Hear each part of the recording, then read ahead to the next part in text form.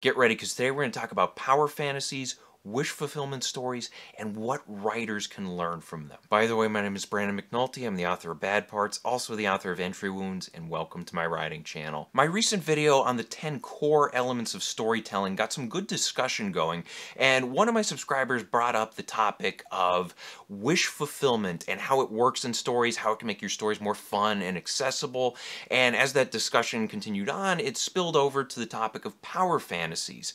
And we're going to talk about these two things today if you're not familiar with either one of them, don't worry because I'm going to define what each one of these is, what is wish fulfillment, what is a power fantasy. I'm going to give you some examples of each. Then we're going to talk about why certain audiences hate power fantasies while other ones love them. And finally, we're going to wrap things up by talking about the important things that writers can take away from these types of stories. But we'll start things off by talking about what wish fulfillment is.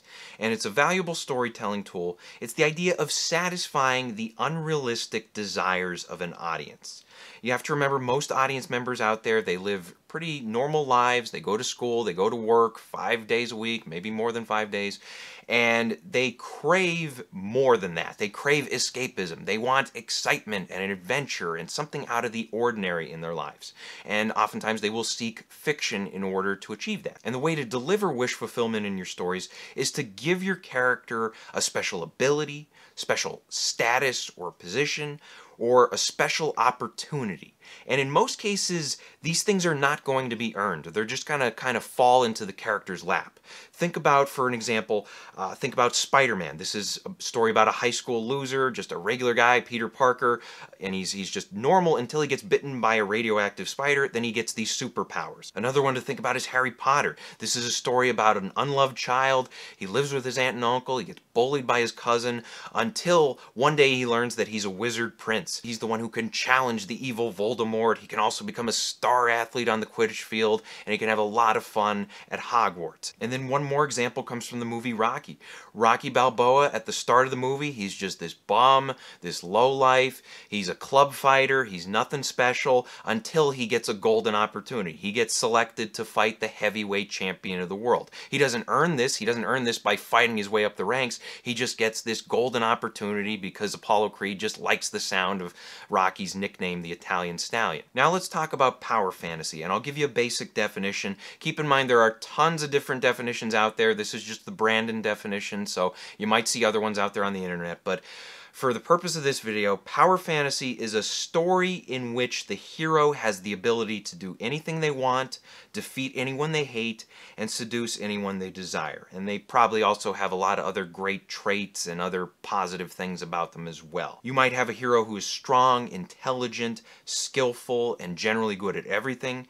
You might have a hero who is admired by others. Everybody wants to be this hero's friend, and the hero's constantly getting romantic attention from attractive people. Oftentimes in these stories, there is a lack of consequences for the hero's mistakes, and that's even if they make mistakes to begin with. Sometimes these heroes rarely ever make mistakes at all. There also tends to be a lack of self-examination of the hero's actions. Oftentimes you'll see a hero kill 20 different henchmen while trying to get to after the villain, or maybe the hero blow up half the city while trying to stop the villain, and the hero never stops and actually considers whether or not it was worth it to blow up the city or worth it to kill all those people. The hero will just keep moving along, keep doing their thing. And another Thing with power fantasies, they usually involve battles against a higher power that we love to hate. The evil empire, the evil mob, the evil this, the evil that, whatever it may be. And one last thing to keep in mind with power fantasies, they involve wish fulfillment. And this is a very important ingredient here because audience members, when there's that wish fulfillment element there, they want to step into the shoes of one of these heroes and get involved in these types of stories. Now keep in mind that not all wish fulfillment stories are power fantasies. For instance, Rocky is a wish fulfillment story. It has that golden opportunity, but it's not a power fantasy because Rocky Balboa, the character, he's not intelligent, he's not generally good at everything. He's just you know, he's a boxer, he gets a lucky opportunity and he seizes it. But he's not somebody who's super intelligent, he's not skillful, he doesn't have women throwing themselves at him, he has to really struggle to get with Adrian. So Rocky is an example of a story that, okay, yes, it is wish fulfillment, but it is not a power fantasy. Now, if you want some examples of power fantasies, look at pretty much any superhero story out there. Think about Batman. Think about how Batman is usually portrayed. He's usually portrayed as this physically strong character who is also intelligent. He's the world's greatest detective. He's skilled. He has all these gadgets he can use. He's wealthy. He's attractive. He's influential. And he's a man who gets a lot of attention from all the different people in Gotham. Everybody wants to be around him. And he's somebody who rarely makes mistakes because, again, he's powerful and he's intelligent. Other examples of power fantasies include the Star Wars sequel trilogy with Rey. They include James Bond, Indiana Jones. John Wick is a good one as well. John Wick just plows through all these different enemies. He's shooting people left and right. Other examples include many different manga and anime stories, Dragon Ball Z, things like that. And then, of course, many different video games. And video games are a great example of this because in most cases, you're choosing what the character does, what they say, what they do, who they kill, and so on and so on. Now, although some of the most popular stories are power fantasies, there are audiences out there that just hate these types of stories. They look down upon them. And usually the main criticism is the main character being overpowered. Some audiences just hate seeing a main character who just has their way with everything. They stomp all over the villains they get whatever they want. They're never seriously challenged or seriously hurt. I mean, think about think about any time you watch a superhero movie and you see a superhero get blasted by a rocket or they fall off a building or something.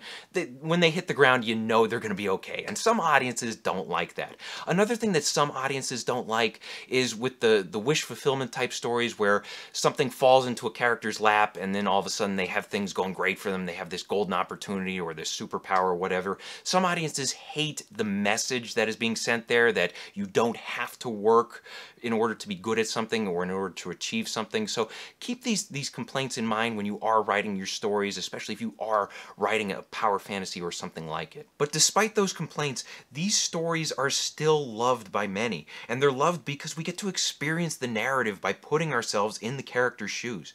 We see and act out our own fantasy through the stories of these characters. And it's important to keep in mind that many stories are a form of power power fantasy. We consume mysteries in order to feel clever. We consume adventure stories in order to feel brave. We consume romance in order to feel desirable, and so on and so on. And it's also important to remember that audiences don't always want to consume challenging or complicated stories. Not everyone wants to come home after a hard day and read Infinite Jest or Moby Dick or something like that. Sometimes audiences just want to simply have a good time or imagine themselves as someone else. And one of the reasons why these stories are so loved is because you gotta elevate heroes some way or another in a story. And if you're going to push them all the way to the top, sometimes that works. Okay, so what's the takeaway here for writers? What can writers get out of these types of stories? I think the key thing to remember here is audience satisfaction. This is so critical. And whenever you deliver a wish fulfillment kind of idea, you attract an audience who is looking for some kind of escape or some kind of adventure or some kind of just you know, way to step outside their comfort zone, way to feel like they're more than just somebody who goes to school or goes to work five days a week. And if you're writing a story, ask yourself, is there a fun, intriguing idea that can get an audience on board? If there isn't, you may want to rework your story and find a way to get that wish fulfillment thing going there. Another thing to keep in mind is that you can create exciting heroes without having them be overpowered. You can give your heroes some exciting skills or you can make them super intelligent or super strong, but make sure that they have drawbacks in other areas, or make sure that they make mistakes and they pay the consequences, or they have situations where they have to stop and examine their actions and think about whether or not what they're doing is right. A balanced hero doesn't need to be a boring hero, so remember that when you're writing your stories. So I hope this helps. Question of the day, what is your favorite wish fulfillment story? Let us know in the comments section below. Thank you guys for watching. If you want to support the channel, please pick up a copy of either one of my books and be sure to leave reviews on Amazon. Bad Parts is great if you like small town horror. It's about people trading away their sick and injured body parts in order to get healthy again. And then Entry Wounds is great if you like thrillers. It's about a guy who picks up a haunted gun and he cannot put it down until he kills six people with it. Also, be sure to check out my other videos, like, share, and subscribe. And as always, remember to keep on writing.